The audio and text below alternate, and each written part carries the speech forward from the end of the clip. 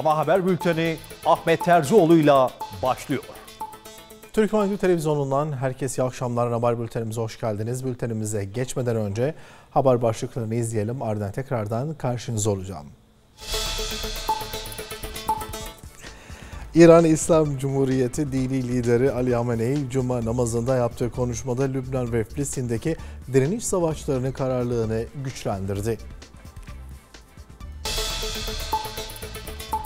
Hamenei suçlu Siyonist çetenin Hamas ve Hizbullah'a karşı hiçbir zaman zafer kazanmayacağı konusunda vardığını doğruladı. Son 24 saat içinde Lübnan'ın çeşitli bölgelerine hedef alan Siyonist saldırılar sonucu karada 37 sivil şehit oldu. Hizbullah ayrıca Güney Lübnan'daki Maron El Ras Ovası'nda bir dizi Siyonist işgal askerinin öldürdüğünü duyurdu. Filistin'de Siyonistlerin Batı Şeria'nın kuzeyindeki Tulkarem kampına yönelik saldırısında 18 sivil şehit oldu.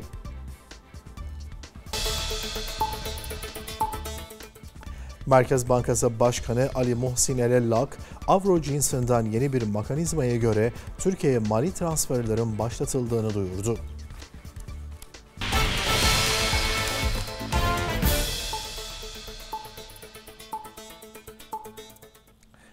İran İslam Cumhuriyeti dini lideri Ali Hamenei Cuma namazında yaptığı konuşmada Lübnan ve Filistin'deki direniş savaşlarının kararlılığını güçlendirdi.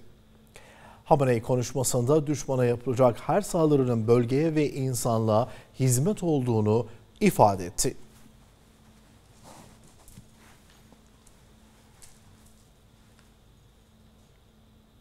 Hamenei ayrıca Sosyalist çetenin Hamas ve Hizbullah'a karşı hiçbir zaman zafer kazanmayacağı konusunda vardığını doğruladı.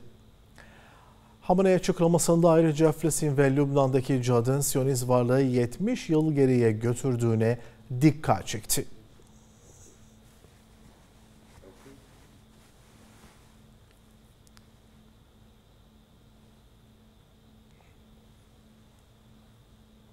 İran Dışişleri Bakanı Abbas Arakçı Beyrut ziyareti sırasında ülkesinin Lübnan'a ve direnişe desteğini doğruladı. Bir basın toplantısında İran bombardımanının Siyonist kışlalarını ve askeri tesisleri hedef aldığını açıkladı.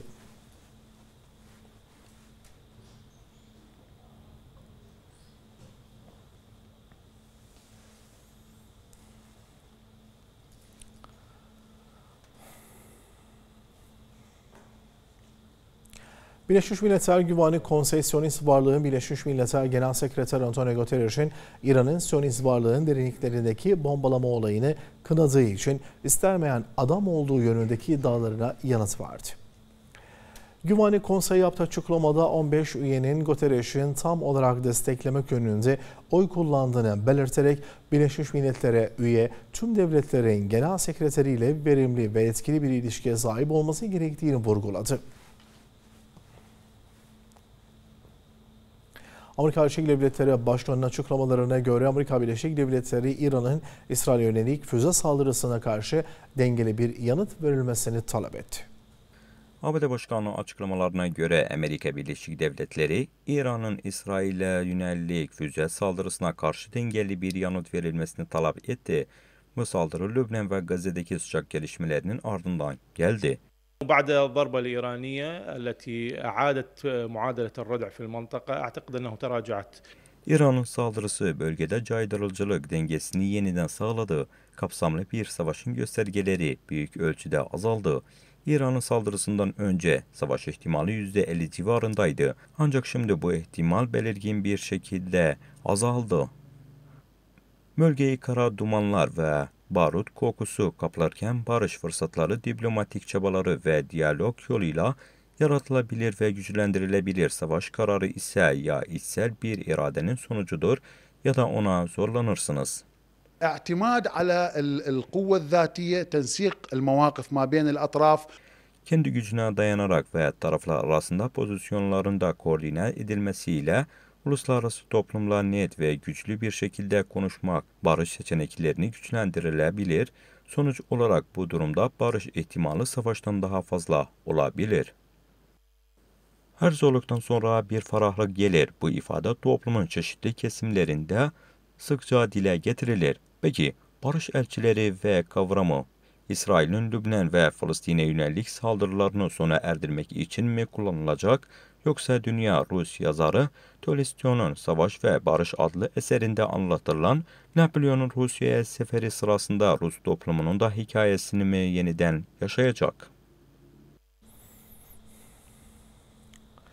Son 24 saat içinde Lübnan'ın çeşitli bölgelerine hedef alan Siyonist saldırılar sonucu karada 37 sivil şehit oldu.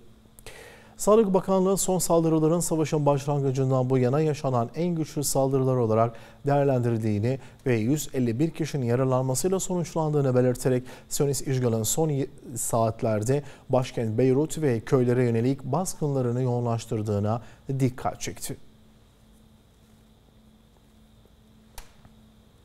Siyonist varlık Lübnan'a yönelik Siyonist savaşın başlangıcından bu yana Beyrut'un güney Banlı göğsünde en güçlüsü olan ardarda arda hava saldırıları düzenledi. Yankıları Beyrut, Kuzey, Matın ve Kesar Van'da duyuldu ve Banliyö'deki Meriaje bölgesinde Siyonist yuvansının hedefi olan 3 Lübnanlı sağlık görevlisi yaralandı. Hizbullah Sasa'da Siyonist düşman askerlerinin toplandığı araçları Ar, Burkan füzeleriyle hedef aldığını duyurdu. Partiden yapılan açıklamada saldırının Siyonist varlığın şehirleri, köyleri ve sivillere barbarca işgaline yanıt olarak gerçekleştirdiği belirtildi. Direniş savaşçıları ayrıca işgal altındaki topraklardaki yerleşimlere 30'dan fazla füze ateşlerken Shilomi yerleşiminde sirenler çaldı ve bir saldırı başlatıldı. Hizbullah ayrıca Güney Lübnan'daki Maron El Ras Ovası'nda bir dizi Siyonist işgal askerinin öldürüldüğünü duyurdu. Parti yaptığı açıklamada savaşçılarının Beka Vadisi'ndeki düşman kuvvetini top mermileriyle hedef aldığını, bunun da işgalci güçler arasında ciddi insani kayıpların yanı sıra araçta maddi kayıplara yol açtığını belirterek tüm sınır bölgelerinde yoğun operasyonlarının devam ettiğini vurguladı.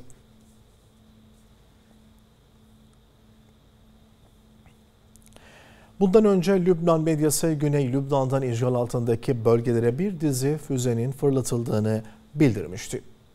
Bu açıklama kuzeyden işgal altındaki bölgelerde ve yukarı Celil'deki Kıryat Şimona ve Margalihot yerleşimlerinde siren sesleriyle ötüşürken İbrani medyasına göre Matolla siren seslerinin de eşlik ettiği güvenlik olaylarına tanık oldu.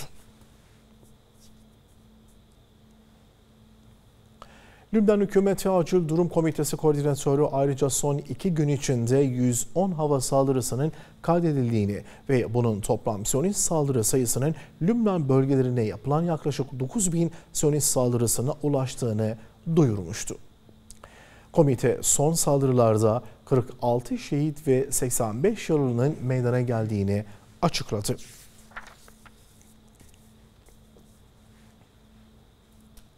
Dünya Sağlık Örgütü Genel Direktörü Tedros Ghebreyesus, Siyonist işgalin askeri saldırganlığının artması sonucunda Lübnan'daki sağlık sisteminin çökmesinin yansımaları konusunda uyardı. Gebresos, Lübnan'da son saatlerde 26, 28 sağlık sektörü çalışanının şehit olduğunu söylerken Siyonist saldırılar nedeniyle 77 sağlık tesisinin de hizmet dışı kaldığını belirtti.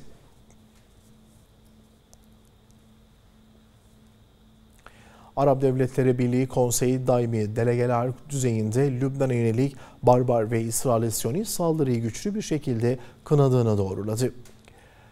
Konsey bunun derhal durdurulması gerektiğini vurguladı ve bölge halklarıyla emniyetinin ortadan kaldırılması ve Lübnan topraklarının bir kısmına yönelik herhangi bir saldırı veya işgalin Arap ulusal güvenliğine bir saldırı olarak değerlendirilmesi açısından devamlılığın tehlikesi konusunda uyarıda bulundu. Başkent Bağdat, Lübnan ve Filistin halklarıyla dayanışma içinde Siyonist saldırganı karşısında iki halkın hak ve taleplerini destekleyen halk gösterilerine tanık oldu. Katılımcılar Siyonistlerin savunmasız sivillere karşı işlediği suçları kınayarak Siyonist suçları reddetmek, savaşı ve vahşi katliamları durdurmak için uluslararası ve İslam bir duruşu o çağrısında bulundular.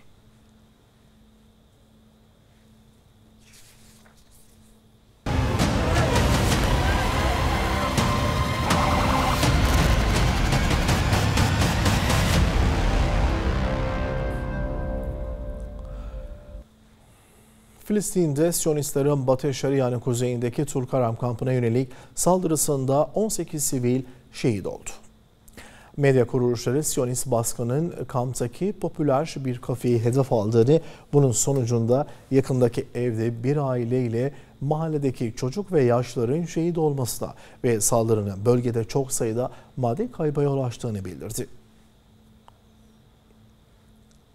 Gazze şeridinin çeşitli bölgelerine devam eden Siyonist saldırılarda 17 Filistinli şehit oldu.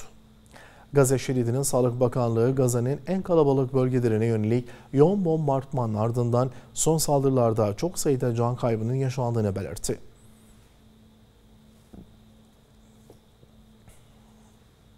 Ülkenin güvenliği ve istikrarını hedef alabilecek herhangi bir ihlale karşı güvenlik güçlerinin tüm birimlerinde yüksek düzeyde hazırlık ve operasyonel yetenek sağlanmıştır. Ülkenin güvenliğini ve istikrarını hedef alabilecek herhangi bir ihlala karşı güvenlik güçlerinin tüm birimlerinde yüksek düzeyde hazırlık ve operasyonel yetenek sağlanmıştır. Sahadaki birlikler acil durumlara hazır müdahale edecek şekilde konuşlandırılmakta ve olası tehditlere göre hareket etmektedir. Buna ek olarak istihbarat paylaşımı güçlendirilmiş ve askeri unsurlar sürekli takayüzde ve dikkatli bir şekilde hareket etmeye odaklanmıştır.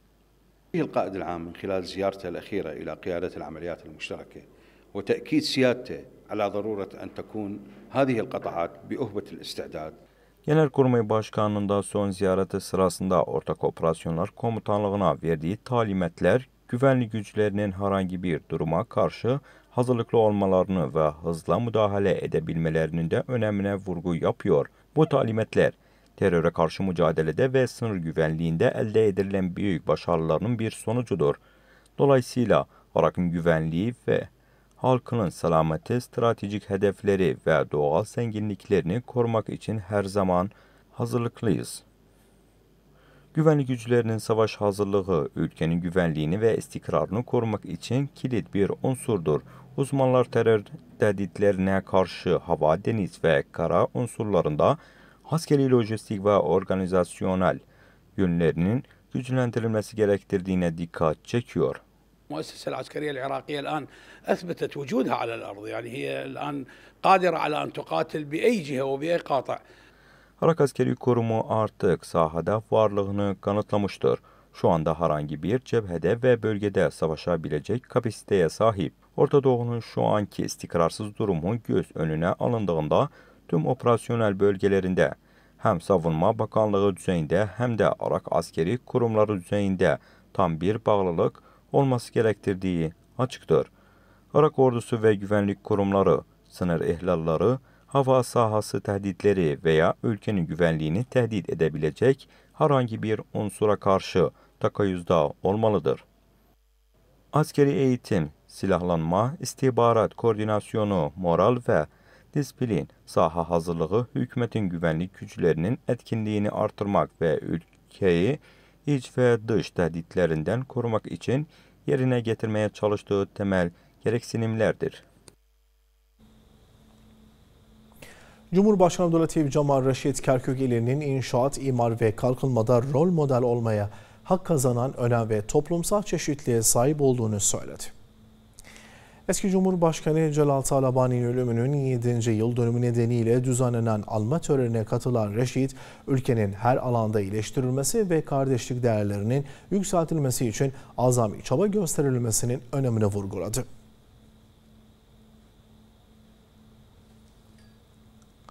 Merkez Bankası Başkanı Ali Muhsin Elellak, Avro cinsinden yeni bir mekanizmaya göre Türkiye'ye mali transferlerin başlatıldığını duyurdu. Bu açıklama El Akın Türkiye'nin Irak Büyükelçisi Anıl Bora İnan'ı Irak'ta faaliyet gösteren Türk bankalarının temsilcilerinden oluşan bir heyetle kabul etmesi sırasında geldi.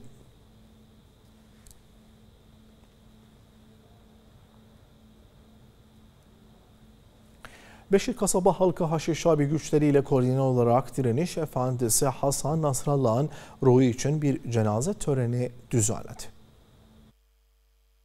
Beşir kasaba halkı Haşid-i Şabi güçleriyle koordineli olarak direniş efendisi Hasan Nasrallah'ın ruhi için bir cenaze töreni düzenledi. Beşir kasaba halkı Haşid-i Şabi güçleriyle koordineli olarak direniş efendisi Hasan Nasrallah'ın ruhi için kasabada bulunan Fatimetüz Zehra aleyhisselam Hüseyiniyesinde bir cenaze töreni düzenledi. Cenaze törenine kasabanın önde gelen mümin insanları ve mücahitleri katılarak törende Fatiha suresi daha sonra Kur'an-ı Kerim'den ayetler okundu. Törene katılanlar direniş ve Gazze ile Lübnan'daki mazlumları destekleme ayrıca direnişin efendisinin yolunda her zaman yürüyeceklerini vurguladılar. Bizim burada yığışmağımız istirik ilan edağın ilan edağın düşmanlara ve muğrid kimselere ki if'alu ma şi'tum bizim yolumuz daimen kan vermeklikten kalıptı ve kalacaktı.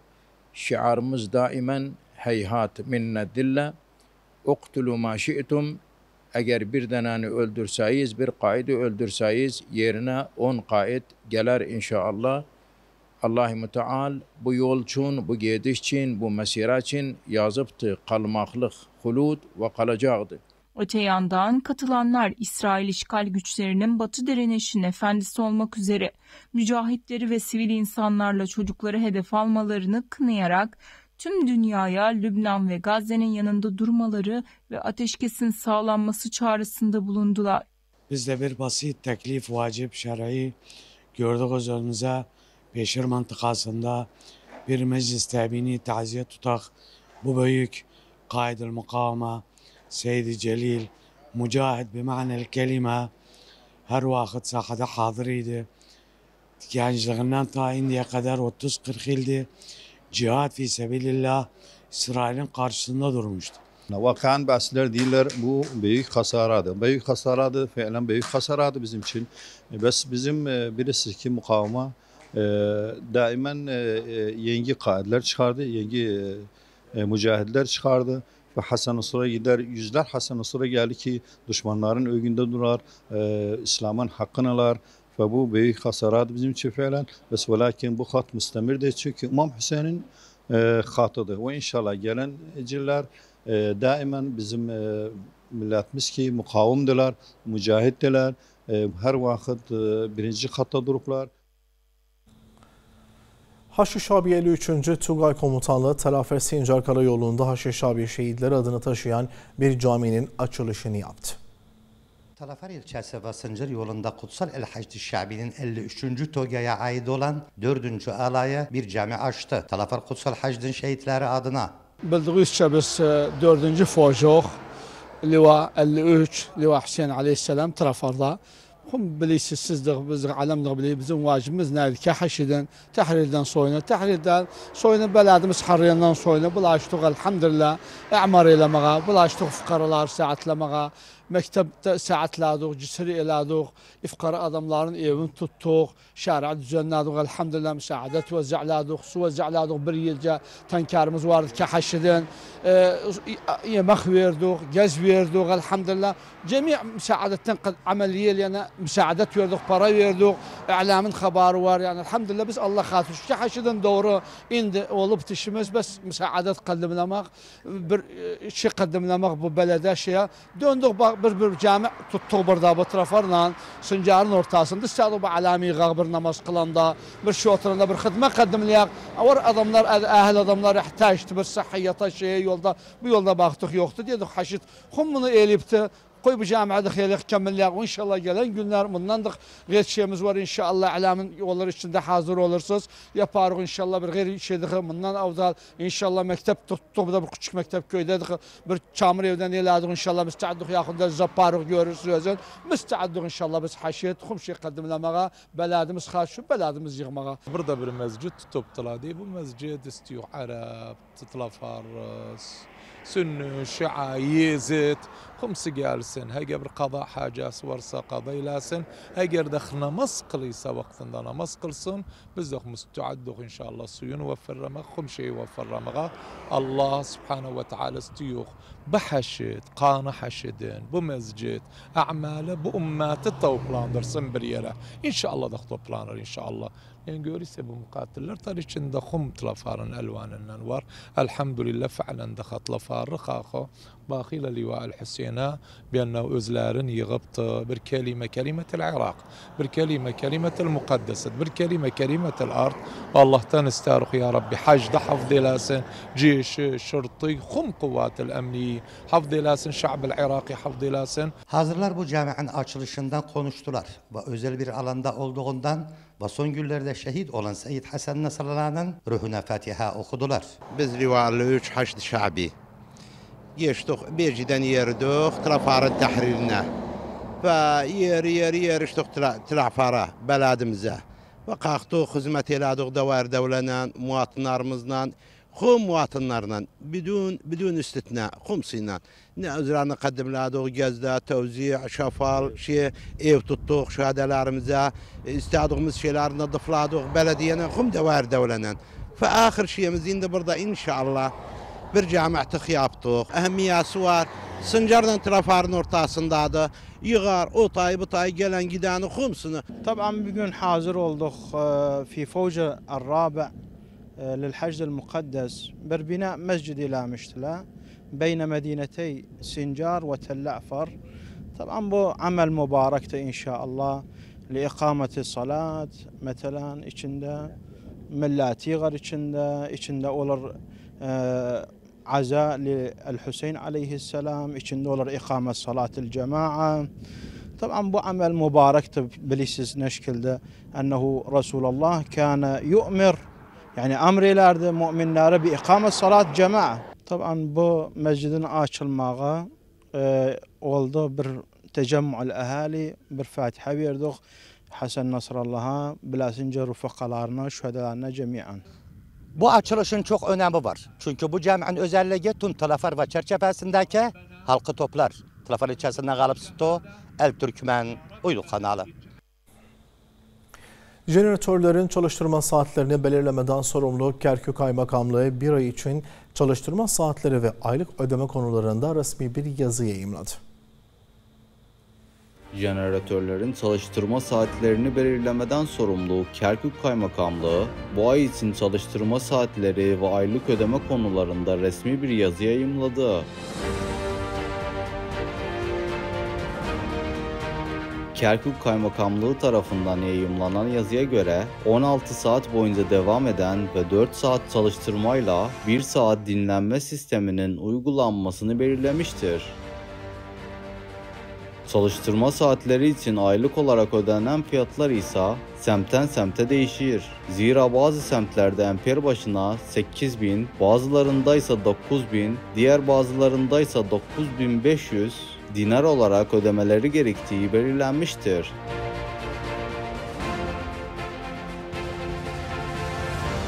Havaların serinlenmesiyle elektrik kesintisi azaldı. Kerküklü vatandaşlar bu ay fiyatların az olmasını bekliyorlardı. Fakat bu ay daha da arttı. Bu da vatandaşı şoka uğrattı. Acaba gelecek ay fiyatlarda bir değişiklik olacak mı? Bekleyip göreceğiz. Şimdi haber başlıklarını tekrardan izleyelim. İran İslam Cumhuriyeti dini lideri Ali Hamenei hücuma namazında yaptığı konuşmada Lübnan ve Filistin'deki direniş savaşçılarının kararlılığını güçlendirdi. Hamenei suçlu Siyonist çetenin Hamas ve Hizbullah'a karşı hiçbir zaman zafer kazanmayacağı sonucuna vardığını doğruladı. Son 24 saat içinde Lübnan'ın çeşitli bölgelerine hedef alan Siyonist saldırılar sonucu karada 37 sivil şehit oldu. Hizbullah ayrıca Güney Lübnan'daki Maron El Ras Ovası'nda bir dizi Siyonist işgal askerlerinin öldürüldüğünü duyurdu. Filistin'de Siyonistlerin Batı Şeria'nın kuzeyindeki Tulkaram kampına yönelik saldırısında 18 sivil şehit oldu. Merkez Bankası Başkanı Ali Muhsin Elellak, avro cinsinden yeni bir mekanizmaya göre Türkiye mali transferlerin başlatıldığını duyurdu. Böylelikle bültenimizin sonuna geldik. Tekrardan görüşmek dileğiyle. Kendinize çok iyi bakın. Hoşçakalın.